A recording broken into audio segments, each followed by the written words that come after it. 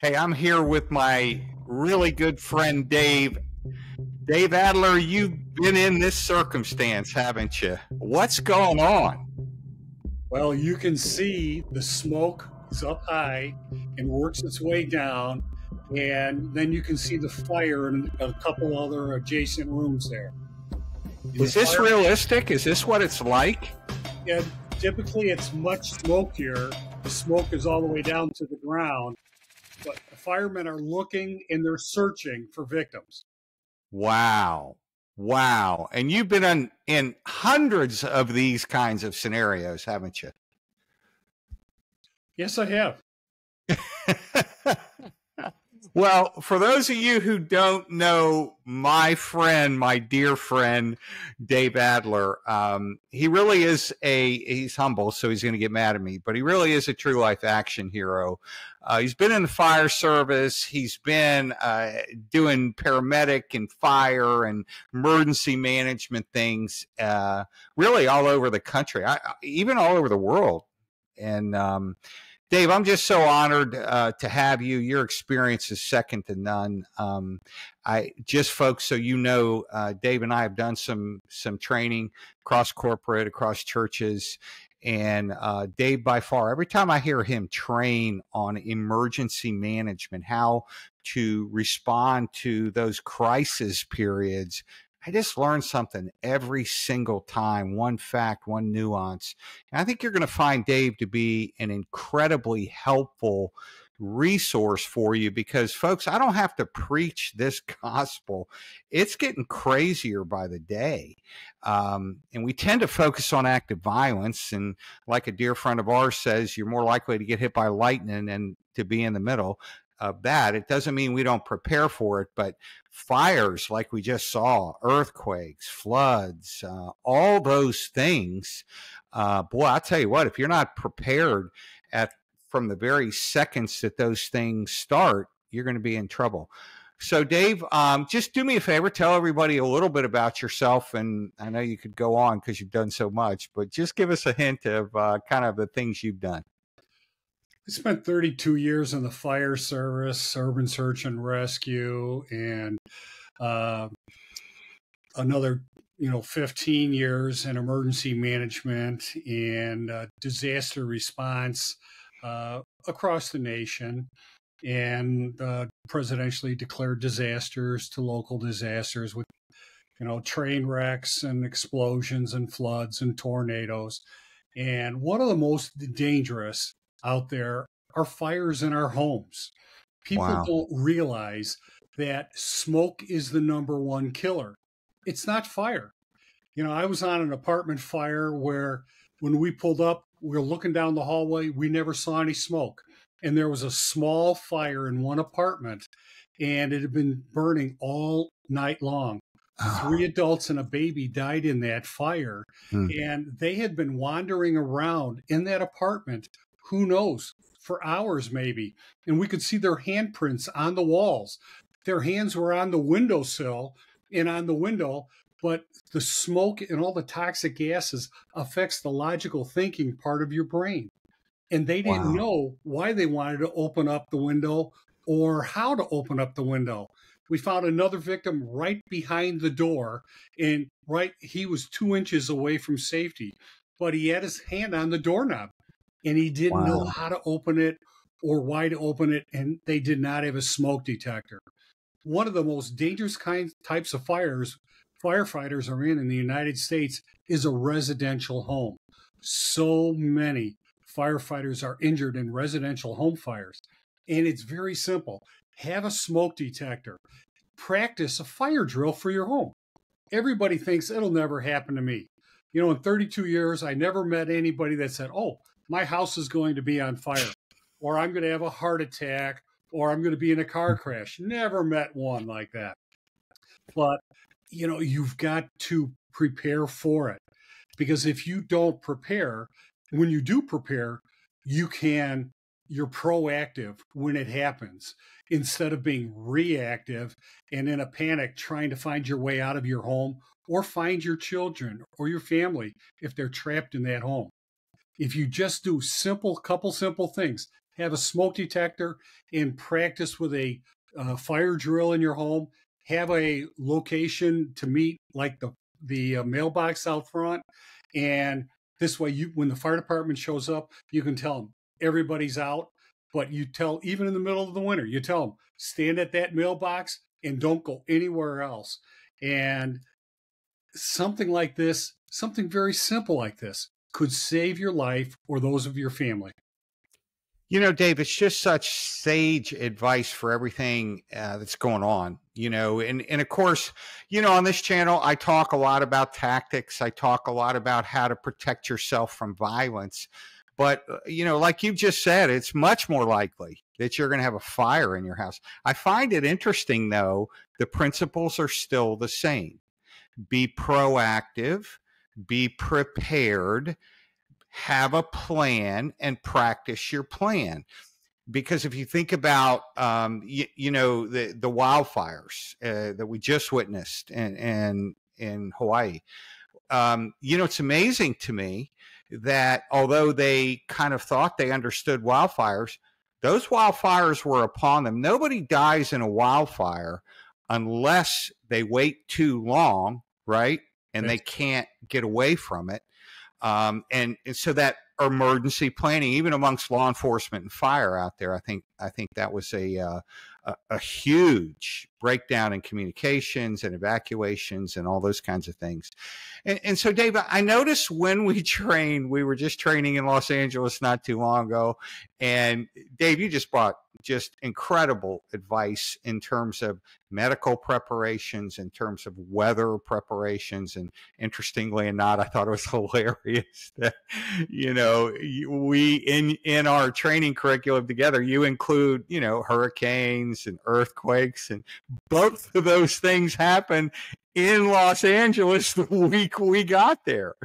So you just don't get to pick when these things uh, happen. And I'm starting to get a lot of questions, um, even from other countries. Tim, tell me what kinds of things I should be doing with all that's going on um, in, in, in our crazy world. Uh, tell me the things that every family should think about.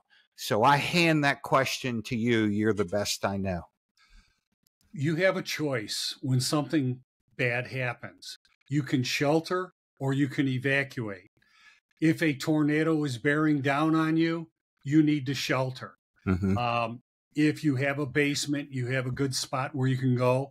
You know, if you're in a mobile home or something above ground or you have no shelter, well, by all means, evacuate rapidly at a 90 degree angle if you know what direction the tornado is coming from. These tornadoes can have winds of two, 250, maybe even greater miles per hour and they will just destroy homes.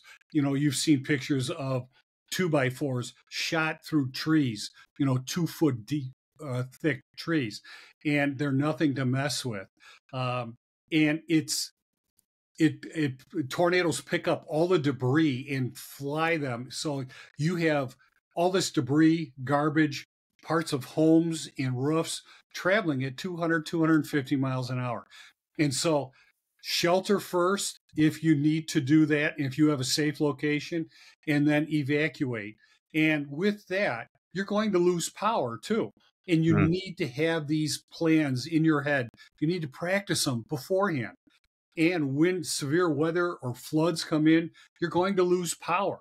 Now, is this during the summer or is this during the winter when it's zero degrees out, um, you know, mm. and it's really cold? Um, or you know severe uh, blizzards and that too. Are you prepared when there's a power outage? Do you have a generator? Do you have a battery backup? Do you have a fireplace? Do you have some spare water set aside? Do you have some food? Whatever that looks like. Um, you know, what happens if there's an earthquake and you lose your natural gas? And mm-hmm. how are you going to stay warm? How are you going to cook food? You know, how are you going to protect and sustain your family. And when the power goes out, think about it. If it's a large storm, some of you are in hurricane prone areas or wildfires. And what happens when the power goes out? ATM machines don't work. Do you have cash? at home, you know, in a, a little safe or vault that you have. And, you know, because it's going to be a cash environment at that point. Credit cards don't work, cell phones don't work. Think about it. And when cell phones and cell towers are overwhelmed, you might not get through on your cell phone. So you could use text messaging. Those are much shorter bursts of information, and you could shoot that out. And those many times will be able to get out. That's such great advice, Dave. Um, you know, I, I, think of resources for people, ready.gov. Um, what what are what would you recommend are the best resources that a family, mom, dad, you know, everybody could look at and go, oh, okay, this spells it out and uh, would be helpful? One of the undoubtedly best locations to get great information is ready.gov. And they, you can go to that site, you look on the left column, and they have specific information for every type of emergency or disaster you could think of. Great information on winter, summer storms, power outages, hazardous material situation, violence. Unfortunately, we're seeing a lot more civil violence and mm-hmm. disobedience. What happens if you happen to be caught in that kind of an area? And like I said, every type of fire, medical emergencies, um, they have some great information there. And they also have additional information on alerts and how to receive alerts on your phone and what happens if you're separated with your family. But more importantly, the answer is not in a disaster here, um, you know, running around like a, your head cut off or chicken little. No, it's being prepared. Mm-hmm. And when you're prepared in advance, case in point, when you go into a restaurant and if you look around and you see a second exit, you have at least an 80 or greater percent chance of survival over everybody else in that restaurant because you found that second exit. Everyone else, if they didn't, they're going out the way they came in because it's a reflex. They're being reactive, not proactive. But if you found that second exit, you and your family could survive by doing something that simple. That's such good, great advan- advice. I know we talk about the tactical aspects of sitting in a restaurant, back to the wall, facing, you know, the the the doors. Um, but that second and third exit, you know, one of the things that you helped me with as well. You know, if you're in a shopping mall or an isolated area and there's concentrated gunfire running into the stores and out the back entrance. We're not programmed to think, oh, that's only for employees. And that's what happens in the crisis.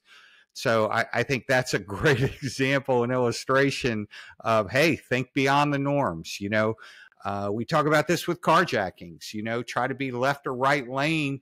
And if somebody's going to attack you, don't worry about driving up on the sidewalks. You know, we think, no, we can't do that. Well, if, if you're going to die, uh, or up onto the curb and over the island. You know, there uh, we must think very, very differently. Um, you know, based on what's going on. Dave, let me ask you, since you're an expert too, um, gas leaks. Uh, it may be common sense, but if you begin to smell gas in an area, what should you do? Well, if it's natural gas, natural gas will go up. And mm. it's lighter than air. And first of all, get everybody out of the building. Number mm-hmm. one, evacuate. A building can always be replaced. That's what we right. have insurance for. People can't. Wow. And you never want to be in an explosion. Burns are terrible, they're very painful and disfiguring. So evacuate everybody, call 911 after you're out of the building.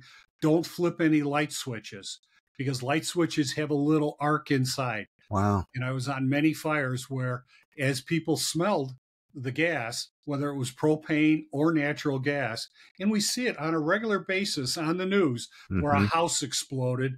And you look at those houses, they're like toothpicks because it's a major explosion. And as people were going out, they flipped the switch to maybe turn the lights on for family members behind them. And that was the trigger, the ignition point wow. where the gas in the entire house blew up. Wow. So evacuate out propane is heavier than air, so that's going to want to go down into low places. And so, and you know, even gasoline is very explosive, mm-hmm. you know, and uh, the fumes will just cause an enormous explosion on that. So evacuate after you're out, call 911, and that's part of your evacuation plan. It should be a reflex action. It should be an action and not a reaction. Dave, that's such sound advice, and and literally, you are the best emergency planner I've ever met. Um, I, I, know you've done it at such high level, state of Illinois level, and you've overseen operational plans. And um, I, am just very appreciative, folks. Dave and I, um, we travel and do what's called safe office training which is kind of the whole picture. It's um, not just, uh, you know, active violence, which we do, we include that, but we talk about these other things that you're actually far more likely to see. And here's what I know if you're in a crisis, you either rise or fall to the level of your training. And so, folks, this is a season in our nation where we must have great training because again if you rise or fall you don't want to fall you don't want to be the victim you don't want to be the person that needs rescuing you want to be the person that knows what to do and can rescue others. So I hope this information's uh, very helpful to you. Uh, I'd encourage you to go to our website. Um, if you go to lionheartsecurityteam.com, lionheartsecurityteam altogether.com, you'll see, um, you know, exactly kind of what we offer and and and how to get in contact with us. Um, uh, also on our YouTube channel, which this is probably where you are, are watching. Um, you know, Lionheart Protective or protection skills uh, at Lionheart Protection Skills on YouTube um, or at Lionheart Skills on Twitter. Folks, I hope this information is helpful because at the end of the day, Dave and I have one passion and that's getting people prepared for the storm really that's already here but I think we're going to see it get get get even worse in the days ahead. Let's not be that person that is unprepared and frozen. Let's be that person that is prepared and knows exactly what to do because remember in those crisis periods quarter seconds count. So, Dave, thank you, my friend, for your gracious time. Uh, I really have nothing but incredible respect for you, and uh, am very appreciative that we get the team. We're going to be doing some training in the in the Richmond, D.C. area coming up, and um, just uh, if you would, guys, keep keep your uh, keep us in your prayers because there's a lot of training that's needed, especially regarding active violence. Uh, organizations are becoming more and more concerned with what they see. And uh, again, we don't traffic in fear. That's not how we roll. We traffic in wisdom, preparation, and skill.